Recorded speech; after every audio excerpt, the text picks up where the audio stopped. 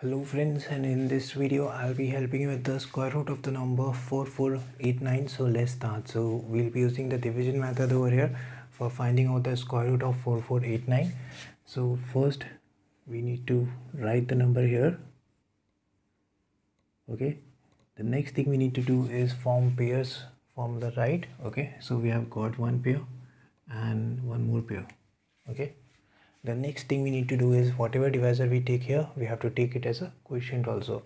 So if we take 6 here we have to take 6 here as well it will be 36 if we take 7 here we have to take 7 here as well it will be 49 now we cannot go with 7 because 49 is greater than 44 okay?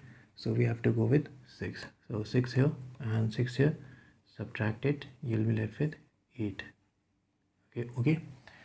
Now whatever is your divisor add it with what you multiplied with. You did 6 into 6 right? So add both. So 6 plus 6 will be 12 keep one digit extra. Okay? And now you can see this number 8 is smaller than this three digit number right?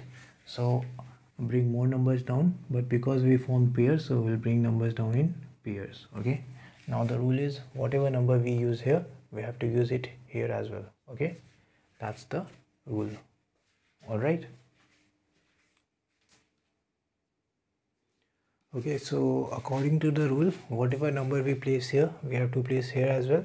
So if we take 1 to 7 times okay so 1 to 7 times into 7 times is 889 so we can use that and it will be 89 subtract it you'll get remainder as 0 once you get remainder as 0 whatever is in the quotient will be your answer okay?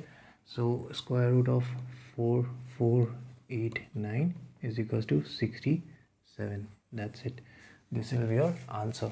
So that's all. If you found the video helpful please do hit the like button. Do consider subscribing and thanks for watching